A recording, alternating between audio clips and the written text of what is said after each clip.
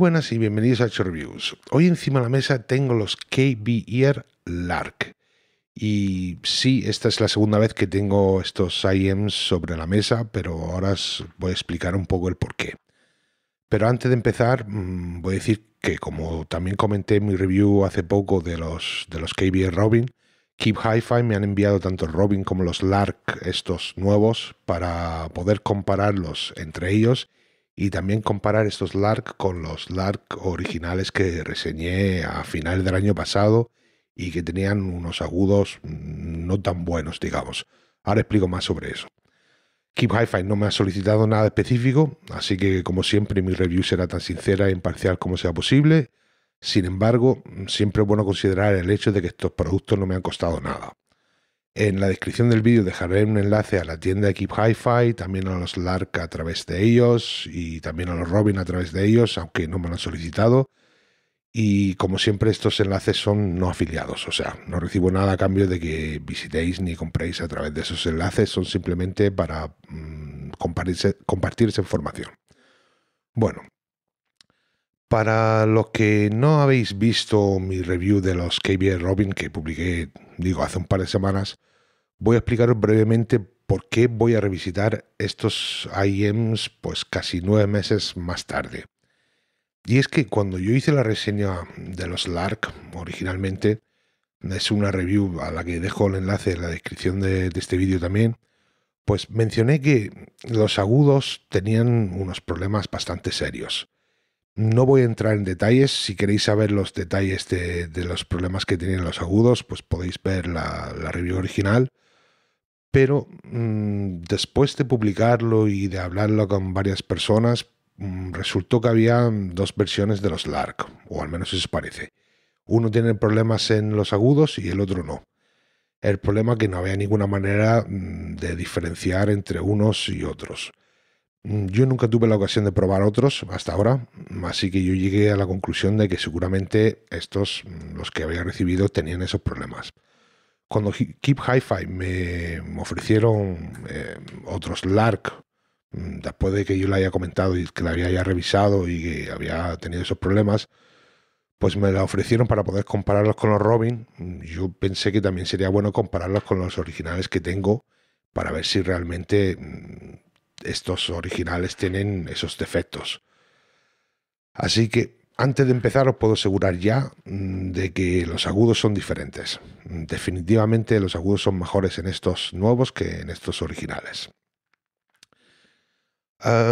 como lo único que pasa, lo único que parece cambiar son los agudos, pues no voy a mm, hacer una review completa de estos auriculares, o sea, no voy a pasar por todos los pasos normales si queréis saber todos los pasos mm, de graves, medio graves, etcétera, podéis eh, mirar el original. Eh, también todo el contenido, la caja, la presentación, el cable, es todo igual. O sea que podéis ver esa review si queréis mm, saber más detalles. Yo lo que voy a hacer es simplemente comentar las, las diferencias entre estos y los originales y también ahora mm, pasaré a, comprarlos un poco también con los Robin y, con otro modelo. Así que empezando entre los Lark versión 1 y versión 2. Voy a llamarlos así. Versión 1, los originales, y versión 2, estos nuevos. Para diferenciarlos, los originales son más oscuros, estos son más claros.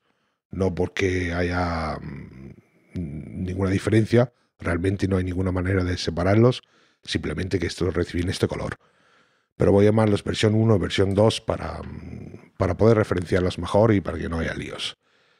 De verdad no creo que exista una versión 1 una versión 2, simplemente que había unos que tenían unos problemas en los agudos y que no había ninguna forma de, diferenciarlos. No sé que si es que se asemblaron de, de, otra forma o que el driver mm, de armadura balanceada era diferente. Todo eso es especulación por mi parte. Yo no he encontrado ningún detalle que explique qué diferencias hay entre ellos, solamente he visto varias personas y varias mediciones que son diferentes. Así que, lo dicho, eh, versión 1, versión 2.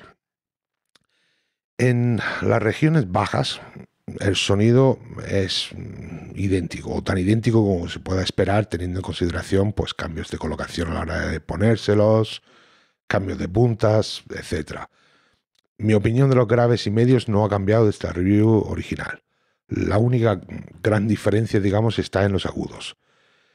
Y tengo que decir que los agudos de la versión 2 pues siguen estando lejos de la perfección, pero también están muy lejos de lo que era el desastre de, o lo que es el desastre de estos originales, de la versión 1. Con la versión 1 yo opté por utilizar unas puntas de silicona de las incluidas debido a que las puntas de espuma pues mm, resultaban un sonido demasiado delgado con la versión 2 me he encontrado utilizando las, las puntas de espuma. Y la razón es que, aunque prefiero los graves y los medios con la silicona, los agudos son un poco bruscos para mis gustos y, después de jugar con varias puntas, pues yo he encontrado que, que, estas de espuma pues reducen esa brusquedad lo justo para que sean algo más cómodos. Sí que estoy perdiendo algo en los rangos bajos para poder calmar un poco los picos de los altos, pero yo lo prefiero así con estos IEMs. La versión 1 mm, presentaba un pico en algún punto justo en el medio de la zona de, sibilancia, y eso se ve bastante reducido en la versión 2, aunque sí sigue siendo notable. Mm, de hecho, eh, es notable con las puntas de espuma. Con las puntas de silicona lo encuentro bastante desagradable. Sigue habiendo un toque de, brusquedad que me recuerda a la versión 1, pero donde sí se ven muy mejorados en la versión 2 es en la extensión de los agudos. Con la 1 había una caída muy notable después de los 12.000 Hz, que es algo que no está en, la versión 2. De hecho, la, extensión de la, de la versión 2 es mucho mejor, siendo una extensión que esperaría de, unos IEMs híbridos en esta categoría mm, sub 50 euros. Mucho mejor que, muchos otros IEMs en este rango. Y los agudos, excepto por ese pico, son bastante suaves. El mayor problema reside dentro de ese pico. Y es que, aparte de las pruebas habituales de sibilancia, pues voces como Paul Simon en el disco de Graceland pueden resultar bastante bruscas cuando se incrementa un poco eh, el volumen. Mm, no tengo ninguna duda de que la versión 2 son mucho mejores en esas frecuencias altas que la versión 1. Mm, sin embargo, sigo encontrando mm, los agudos demasiado bruscos y siguen mostrando ese toque metálico del driver balanceado en, la parte alta. Y mi, conclusión sería que la versión 2 por lo menos no suenan rotos como la, como la versión 1. Pero sigue siendo una lástima que el driver de, armadura balanceada no esté a la altura del driver dinámico. Así que, dicho esto, comparación hecha con la versión original, son mucho mejores que las originales, no hay duda. Vamos con los, los Robin. Y esta es la, razón principal por la que uh, Keep Hi-Fi perdón, me, enviaron los dos, y era para poder compararlos entre ellos. Sin embargo, mientras estaba haciendo la comparación, ha surgido un pequeño problema. Y es que podéis ver que ha sucedido esto. A la hora de cambiar las puntas, a ver si quiere enfocar la cámara, a la hora de cambiar las puntas, pues al quitarle la punta, mm, se ha quedado la boquilla dentro de, lo que es la punta y se ha salido de la carcasa. Y esto no es un nuevo modo de afinado que ha utilizado KBR, es que se no se puede apreciar bien en la, en la cámara, pero realmente se ha salido, se ha desconectado la armadura balanceada que tiene aquí dentro de la boquilla. Vamos, que se han roto. Y esto es un problema que yo no he encontrado antes. Tampoco he oído nada de que haya sucedido esto con otros modelos de, de KBR. Mm, así que probablemente sea un, incidente aislado. Y siendo realista, cosas pasan. Todas las marcas, todos los modelos pueden tener algún problema.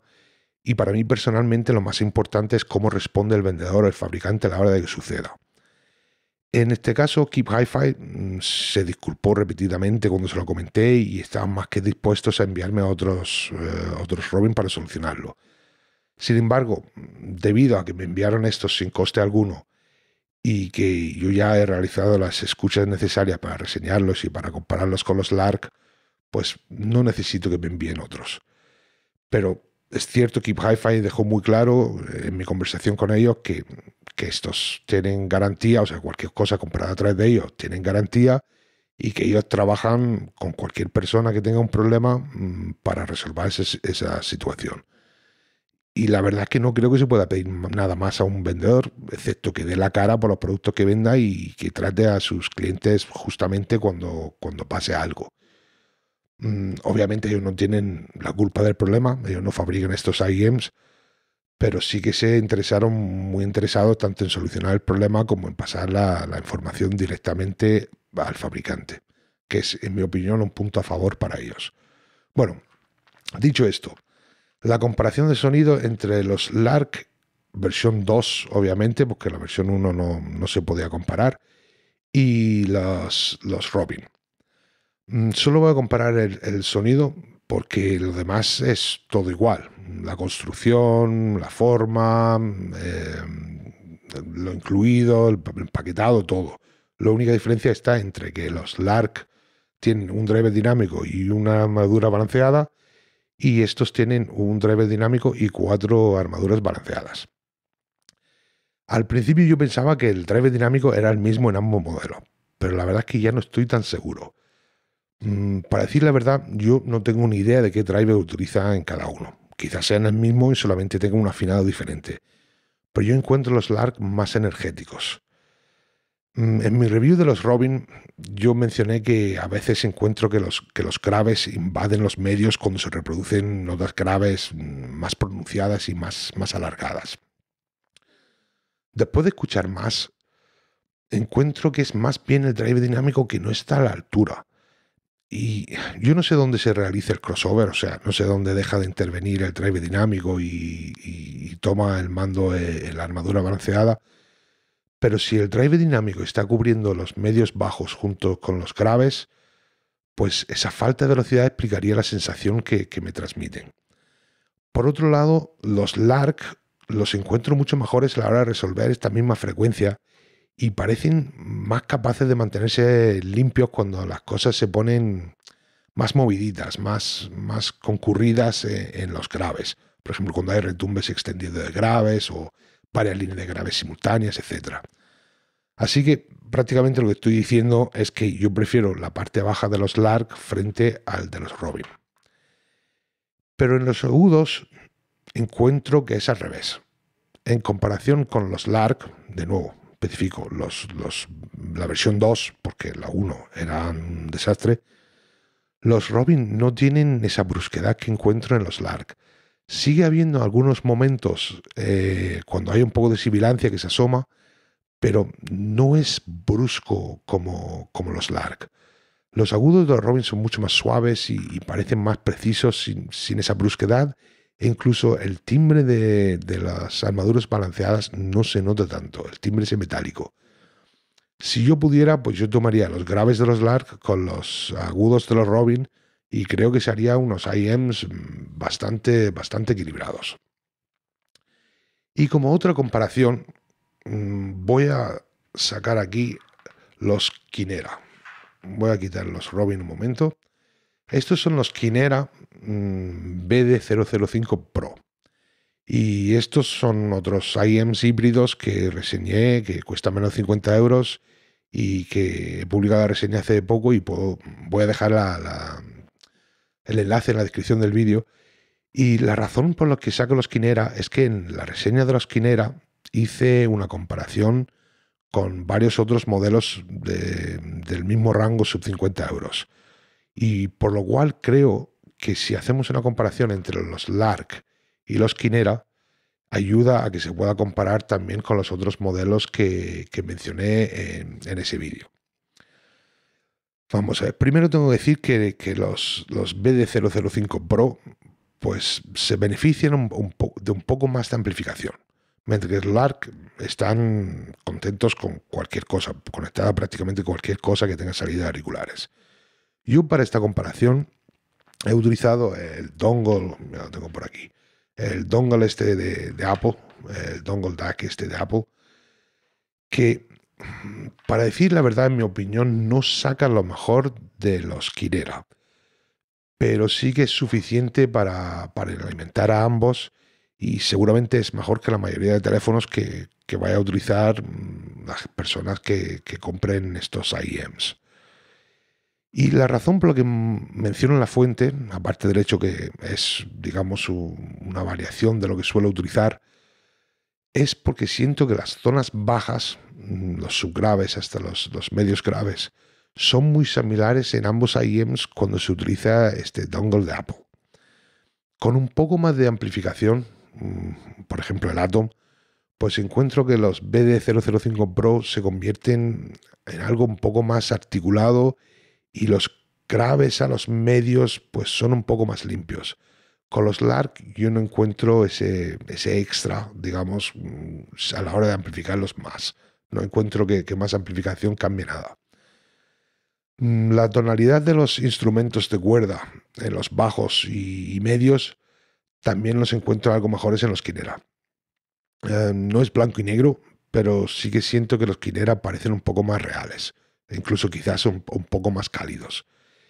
Ambos IEMs tienen una bajada en los, en los medios, mm, una bajada leve, mm, quizás más pronunciado en los Kinera, pero yo creo que eso se debe también a que los Kinera a veces mm, tienen los graves un poco más presentes que en los Lark y eso hace que parezca un poco más reducidos en los medios de lo que realmente son.